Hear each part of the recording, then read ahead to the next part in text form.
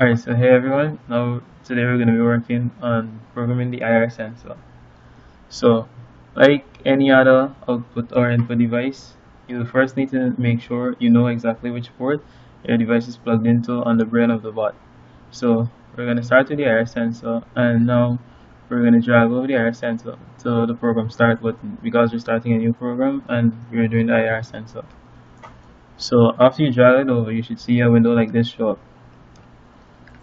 So now you need to check which port our IR sensor is plugged into. If it's input 1, input 2, input 3, etc. So we after we know which one, mine is in input 1, so I'm going to be using input 1 to program the IR sensor.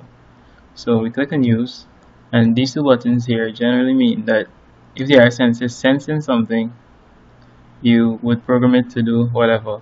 And if you click on none, if the IR, this basically means if the IR sensor is not sensing anything, it should do something. So I'm gonna do if the IR sensor is sensing something, it should reverse the robot.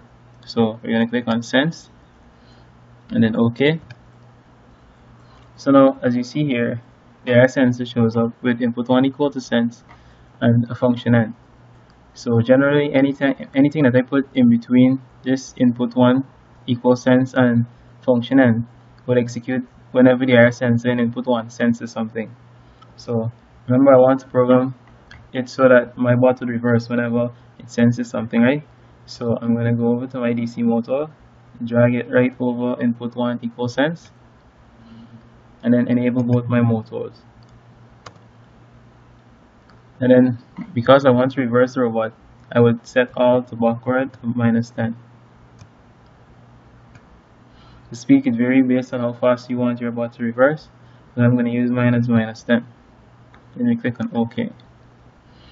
So now our program reads, if IR sensing input 1 senses something, take the motor speed for both motor 1 left and motor right and change it to backward equal minus 10.